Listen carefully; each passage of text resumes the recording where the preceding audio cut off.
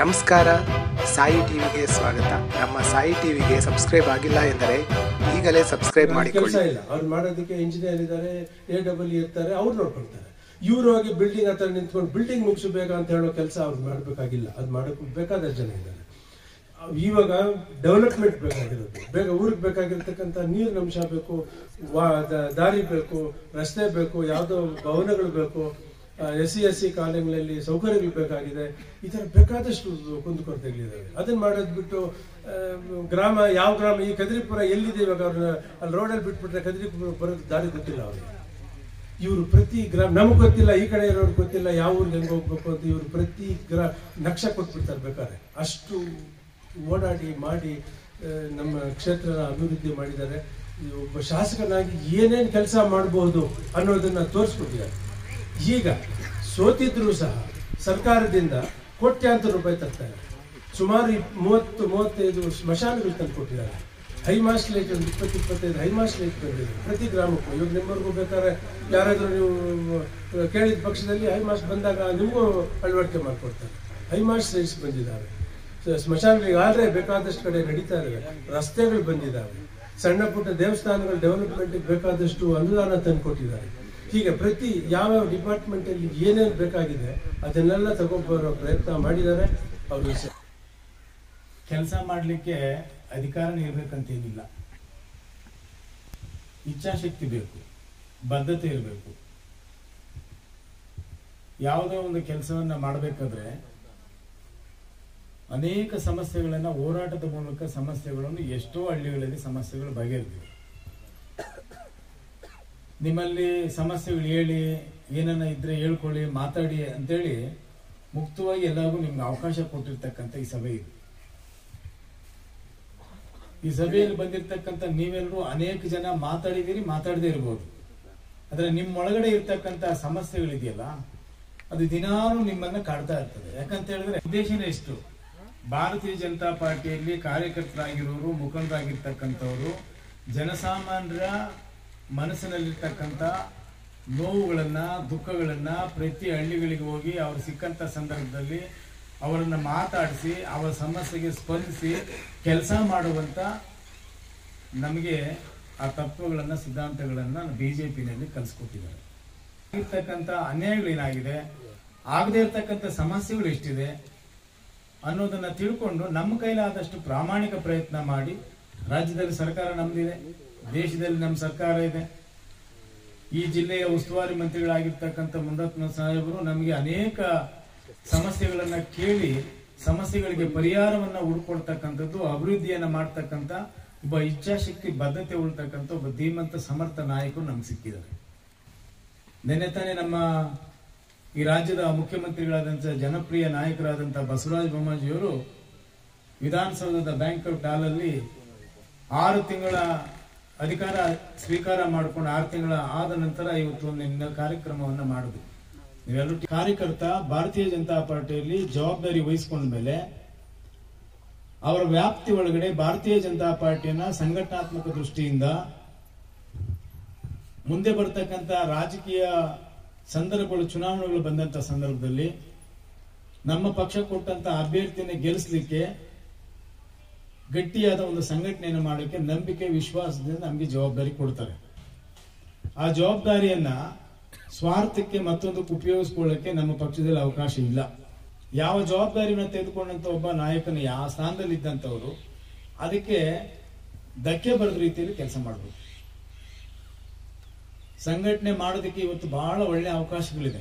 ಅಧಿಕಾರ ಇಲ್ಲದೇ ಇದ್ರೂ ಕೂಡ, ಸೋತಾಗಿಂದಲೂ ಕೂಡ ನಿರಂತರವಾಗಿ ಕ್ಷೇತ್ರದ ಸಂಪರ್ಕ ಜನರ ಮಧ್ಯೆ ನಾನು ಇಟ್ಕೊಂಡಿದ್ದೇನೆ. ಪಕ್ಷವನ್ನು ಬೆಳೆಸಬೇಕು, ಪಕ್ಷದಲ್ಲಿರ್ತಕ್ಕಂಥ ಕಾರ್ಯಕರ್ತರುಗಳಿಗೆ ಜನಸಾಮಾನ್ಯರಿಗೆ ಏನಾನ ಸಮಸ್ಯೆ ಆದಾಗ ಸ್ಪಂದಿಸಬೇಕು. ಅದು ಪೊಲೀಸ್ ಪ್ರಾಬ್ಲಮ್ ಇರ್ಬೋದು, ತಹಶೀಲ್ದಾರ್ ಕಚೇರಿಯಲ್ಲಿ ಕೆಲಸಗಳಾಗದೇ ಇರ್ಬೋದು, ಎ ಸಿ ಕಚೇರಿಯಲ್ಲಿ ಕೆಲಸಗಳಾಗದೇ ಇರ್ಬೋದು, ಡಿ ಸಿ ಕಚೇರಿಯಲ್ಲಿ ಕೆಲಸಗಳಾಗದೇ ಇರ್ಬೋದು. ಈಗ ಅನೇಕ ಸಮಸ್ಯೆಗಳು ಹೇಳಿದ್ರಿ, ಗ್ರಾಮ ಮಟ್ಟದಲ್ಲಿ ಪಿ ಡಿ ಒ ನಮಗೆ ಸ್ಪಂದಿಸ್ತಾ ಇಲ್ಲ, ಇ ಒ ನಮಗೆ ಸ್ಪಂದಿಸ್ತಾ ಇಲ್ಲ, ಬರೀ ಭರವಸೆಗಳನ್ನ ಕೊಡ್ತಾರೆ. ಗ್ರಾಮ ಪಂಚಾಯಿತಿಗಳಲ್ಲಿ ಪಂಚಾಯಿತಿಯ ಸದಸ್ಯರು ಗೆದ್ದವರಿಗೆ ಗೌರವ ಸಿಗ್ತಾ ಇಲ್ಲ. ಗ್ರಾಮಗಳಲ್ಲಿ ನಮ್ಗೆ ಓಟ್ ಹಾಕಿದವ್ರು ನಮ್ಮನ್ನ ಬೈತಾ ಇದ್ದಾರೆ.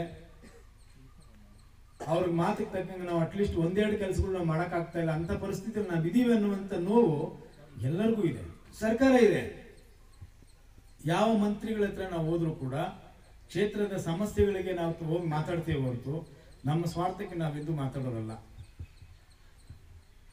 కంసంద్రంలో పీడి చేంజ్ చేయాలా? శ్రీనివాసంలో పీడి చేంజ్ చేయాలా? ఇంకేమైనా ఊర్లో పంచాయతీల పీడిఓని చేంజ్ చేయాలా? అందరూ రాండా నేను ప్రిన్సిపల్పై చేంజ్ చేపిస్తాను ట్రాన్స్ఫర్ చేపిస్తాను.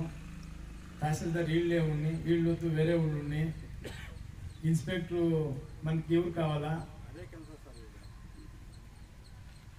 ఇంటికి పీడియోని పిలుచుకోవాలా? కంప్యూటర్ ఆపరేటర్ మన ఇంట్లో ఉండాలా? ಅಕೌಂಟ್ ಸೆಕ್ಷನ್ ಆಫೀಸರ್ మన ఇంట్లో ఉండాలా ಇದೆಲ್ಲ ನಮ್ ಕೆಲಸ ಅಲ್ಲ ಅದಾಪಟ್ಟಿಯ ಸಂಸ್ಕಾರನೂ ಅಲ್ಲ ತತ್ವ ಸಿದ್ಧಾಂತಗಳು ಅಲ್ಲ ಅದು ಬಹುಶಃ ಅದು ಕಾಂಗ್ರೆಸ್ ಅಲ್ಲೂ ಜೆ ಡಿ ಎಸ್ ಅಲ್ಲೂ ನಡೀಬಹುದು ಅದು ನಮಗೆ ಗೊತ್ತಿಲ್ಲ ನಾನು ಇಲ್ಲಿ ಕೂತಿರ್ತಕ್ಕಂಥ ಒಂದು ಮಾತು ಹೇಳ್ತೀನಿ ಮುಂದೆ ಬರ್ತಕ್ಕಂಥ ತಾಲೂಕು ಪಂಚಾಯತಿ ಜಿಲ್ಲಾ ಪಂಚಾಯತ್ ಚುನಾವಣೆ ಬಹಳ ಹತ್ತಿರದಲ್ಲಿದೆ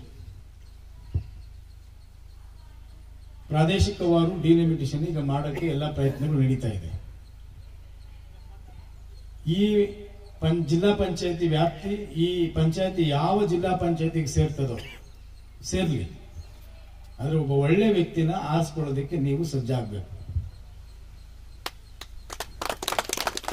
ಪಂಚಾಯತಿಯನ್ನು ಕೂಡ ಇಲ್ಲಿ ಒಳ್ಳೆಯವ್ರನ್ನ ಆಯ್ಕೆ ಮಾಡಿಕೊಳ್ಳೋಕೆ ನೀವು ತಯಾರಾಗಬೇಕು.